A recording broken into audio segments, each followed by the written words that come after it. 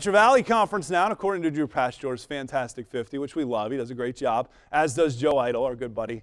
Three BVC teams, a good shot at the playoffs, all in Division 7, Region 26. A couple others have outside shots.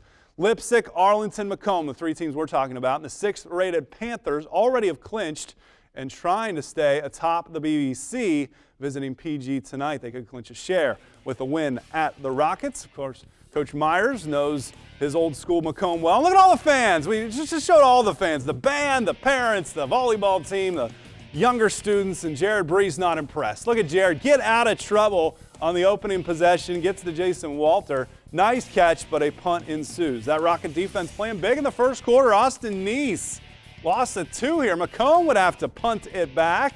So Brees goes to work once again to Walter. First down yardage as he scampers down the sideline, getting near midfield. Then it's Brees again to who else? Number 22, Walter, another first down. They've also got a nice running back, Peyton Traxler. Look at these quick feet scampering to the outside. He gets first down yardage, but this drive ends in a punt. McComb backed all the way up at their 12 to start things. Malachi Abbott getting them out of trouble. First down all the way out at the 41. Then it's Keegan Lowe getting low and cutting it back. Nice footwork by number seven. He's got a first down across midfield to the 43. More from Lowe.